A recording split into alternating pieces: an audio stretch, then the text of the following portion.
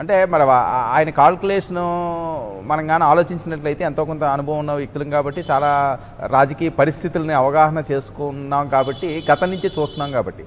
చంద్రబాబు నాయుడు గారు వయసు రీత్యా పెద్దవారు అవుతున్నారు కాబట్టి రెండు వేల ఇరవై నాలుగు రెండు వేల ఇరవై తొమ్మిదికి ఆయన ఇంత యాక్టివ్గా ప్రజల్లో తిరగగలరా లేరా అన్నది ఒక ఆలోచన అయి ఉంటుంది.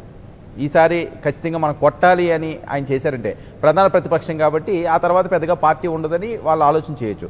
ఇక పవన్ కళ్యాణ్ గారు బీజేపీది అన్నది అంత పెద్ద ఓట్ షేరింగ్ ఏది లేదు కదా. ఈసారి మనం చేసేలా ఉంటే అన్ని సంవత్సరాలు పార్టీని నడిపించడం కష్టం అవుతుందేమో వాళ్ళే ఇబ్బంది పడతారో లేకపోతే వేరే రకంగా చూడొచ్చులే అని ఆలోచన ఉండొచ్చు. కానీ జగన్మోహన్ రెడ్డి గారికి అయితే ఖచ్చితంగా రెండు వేల ఇరవై నాలుగు ఎట్టి పరిస్థితుల్లోని కూడా గెలాల్సిన అవసరం ఉంది. ఎందుకంటే ఇప్పుడు కక్ష రాజకీయాలు చేస్తున్నారు అంటున్నారు అరెస్ట్లు అవనియండి లేకపోతే టీడీపీ వాళ్ళని కావాలని ఇబ్బందులు పెడుతున్నారని ఆయన మీద చాలా అభియోగాలు ఉన్నాయి పార్టీ మీద కూడా మంత్రుల మీద వాళ్ళ మీద అని. ఒక్కసారి అధికారంగానే కోల్పోతే చాలా కష్టాల్లో పడుతుంది పార్టీ. సో ఆ నేపథ్యంలో ఇరవై నాలుగు అన్నది ఆయనకి ఎట్టి పరిస్థితుల్లోనూ గెలవాల్సిన పరిస్థితి. ఈ పరిస్థితుల్లో నూట డెబ్బై ఐదు నూట డెబ్బై ఐదు టార్గెట్లో ఇరవై మూడు మంది ఎక్కడైతే తెలుగుదేశం పార్టీ శ్రేణులు గెలిచారో ఆ నియోజకవర్గాల మీద ముందుగా ఆయన ఫోకస్ పెట్టారు.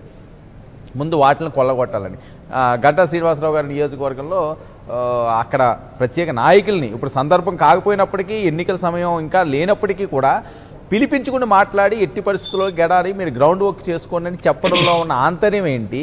వీళ్ళు టార్గెట్ ఫిక్స్ చేశారు. ఆ టార్గెట్ రీచ్ అవ్వడానికి ఏమైనా ఆటంకాలు ఉన్నాయా? ఒక పక్క పవన్ కళ్యాణ్ గారు ఒక్క ఛాన్స్ అంటున్నారు.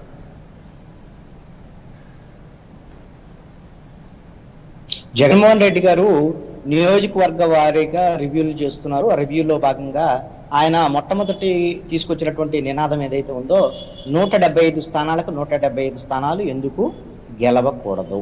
మనము ప్రజల కోసం తొంభై మూడు శాతం హామీలన్నిటిని అమలు చేశాం కదా. ఇప్పుడు మనకి ఖచ్చితంగా ఆ ప్రజల నుంచి మద్దతు వస్తే మీరేం కాన్ఫిడెంట్గా వెళ్ళండి అనేటువంటి విషయాన్ని పదే పదే నియోజకవర్గాల రివ్యూలో చెప్తున్నారు.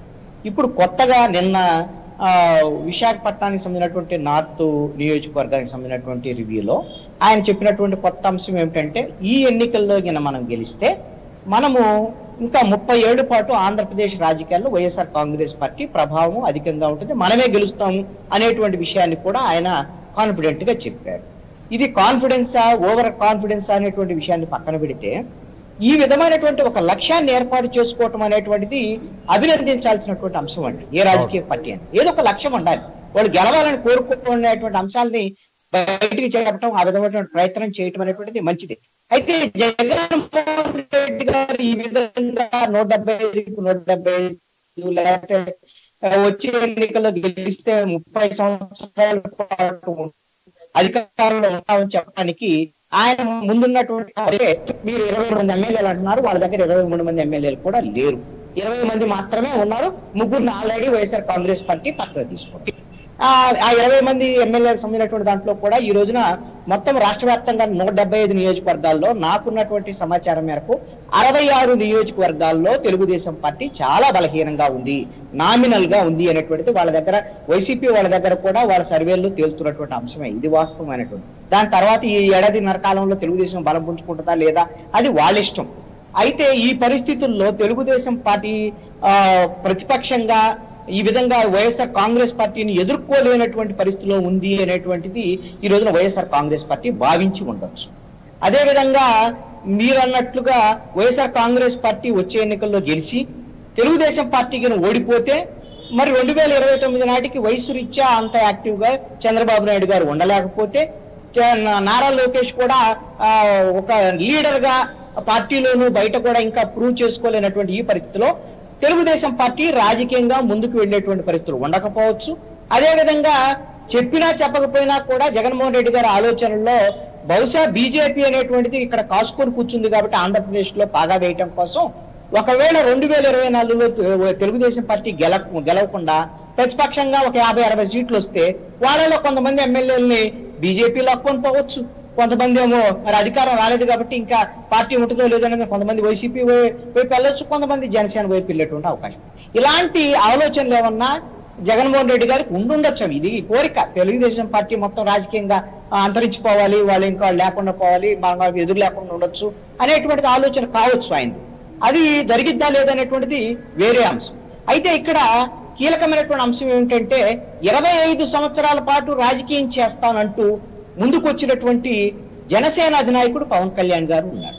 మరి రెండు వేల ఇరవై నాలుగు ఎన్నికల్లో పవన్ కళ్యాణ్ గారు మరి ఎన్ని సీట్లు గెలుస్తారు ఏమిటి అనేటువంటి తెలియటువంటి అవకాశం ఉండొచ్చేమో. అది ఇప్పుడు ఉన్నటువంటి పరిస్థితుల్లో ఒక ఐదో పదో సీట్లు వస్తాయి ఆ వాళ్ళు విడిగా పోటీ చేస్తే అనేటువంటి చర్చ ఉంది. వాళ్ళ పొత్తులు బీజేపీతో కలిసి ఉంటే బీజేపీతో కలవటం వల్ల అదనంగా జనసేనకు వచ్చే లాభం అయితే నాకు తెలిసి అయితే ఏం లేదు. అదొక గుదిబండ లాంటిది బీజేపీ. అదనంగా జనసేనకి ఏం లాభం రాదు. జనసేన వల్ల బీజేపీకి ఏమైనా లాభం వస్తే రావచ్చాము. ఇక ప్రతిపక్ష పార్టీలకు సంబంధించినటువంటి దాంట్లో ఇంకెవరితో అయినా జ- జనసేన పొత్తులు పెట్టుకుంటే ఇంకా కొంత పర్సంటేజ్ పెరిగేటువంటి అవకాశం అది వాళ్ళ ఇష్టం పెట్టుకుంటారా లేదనేటువంటి అంశం.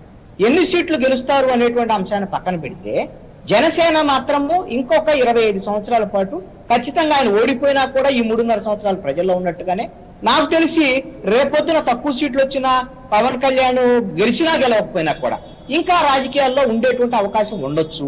మరి ఆ విధమైనటువంటి పరిస్థితి ఒక క్లీన్ ఇమేజ్ ఉన్నటువంటి పవన్ కళ్యాణ్ ఆ ప్రజల్లోనే ఉంటూ ఈ విధంగా కనుక ముందుకు వెడితే రెండు వేల ఇరవై నాలుగులో ఒకవేళ వైసీపీ గెలిచినా కూడా ఆ తర్వాత వైఎస్ఆర్ కాంగ్రెస్ పార్టీకి కళ్యాణ్ వేసేటువంటి నాయకుడిగా జనసేన అనే పవన్ కళ్యాణ్ ఉండేటువంటి అవకాశం ఉంది.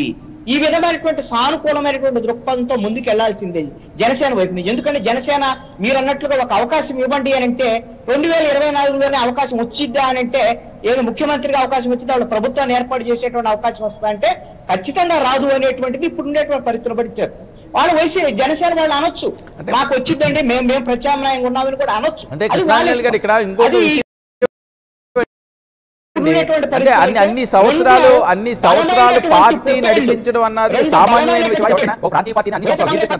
ఒక్క నిమిషం అండి కృష్ణాంజలి గారు మీరు చెప్పినట్లుగా అన్ని సంవత్సరాలు పార్టీని మొయ్యడం అంటే సామాన్యమైన విషయమా గెలుపు లేకుండా ఒకవేళ మొయ్యలేకపోతే మొయ్యలేకపోతే రెండు వేల తొమ్మిదిలో ఏర్పడినటువంటి పార్టీ పిఆర్పి రెండు వేల మరి ఎన్నికల తొమ్మిదిలో ఎన్నికలు అయిపోయిన తర్వాత కాంగ్రెస్ పార్టీలో కలిపినట్టుగా ఒకవేళ పవన్ కళ్యాణ్ గారు కూడా ఎవరన్నా నాయకు వెళ్ళగాకపోతే పార్టీని ఏ బీజేపీలోనో ఇంకొక దాంట్లో కలుపుకుంటారని తెలియదు అలా నేను ఆరోపణ చేయటం లేదు.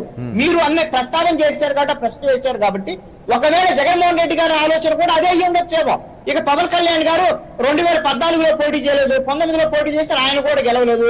ఇరవై నాలుగులో గెలిచిన తక్కువ సీట్లు వచ్చినాయి అనుకోండి ఇక ఆయన నడపలేక పార్టీని క్లోజ్ చేసుకుంటారని జగన్మోహన్ రెడ్డి గారి కోరికగా ఉండొచ్చాం.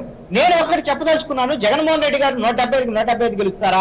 లేకపోతే ముప్పై ఏళ్ళు ఉంటారా అనేటువంటి దాని మీద ఒక అంశాన్ని పక్కన పెడితే జగన్మోహన్ రెడ్డి గారి దగ్గర ఉన్నటువంటి సమాచారం ప్రకారంగానే అరవై ఎనిమిది సీట్లలో ఈ రోజున వైఎస్ఆర్ కాంగ్రెస్ పార్టీ ఎమ్మెల్యేలు ఓడిపోయేటువంటి పరిస్థితి ఉందని జగన్మోహన్ రెడ్డి గారి దగ్గర ఉన్నటువంటి సర్వేకి సంబంధించినటువంటి సారాంశం.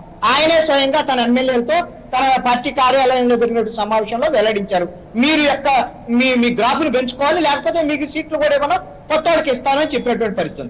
కాబట్టి అరవై ఐదు మంది డెబ్బై మంది ఓడిపోయేటువంటి పరిస్థితుల్లో వాళ్ళు ఉంటే ఇంకో ప్రభుత్వాన్ని ఎలా ఏర్పాటు చేస్తారు అనేటువంటి ధీమా ఎక్కడ ఉంటది అంటే ఇక్కడ ఏంటంటే ఇది ఒక సైకలాజికల్ గేమ్ అనేటువంటిది జగన్మోహన్ రెడ్డి గారు ఆడుతున్నట్టుగా నేను అనుకుంటున్నాను. అదేంటి అంటే వాళ్ళ క్యాడర్లో ఒక ఉత్తేజం నింపటము అదేవిధంగా ప్రతిపక్షాల్లో తెలుగుదేశం జనసేనలో వాళ్ళ క్యాడర్ని ఆ నాయకుడిని డిమోరలైజ్ చేయటం అనేటువంటి ఒక పక్కా ప్రణాళికతో ఒక సైకలాజికల్ గేమ్ అనేటువంటి ఈ రోజున జగన్మోహన్ రెడ్డి గారు ఆడుతున్నారు అనేటువంటి నేను అనుకుంటున్నాను.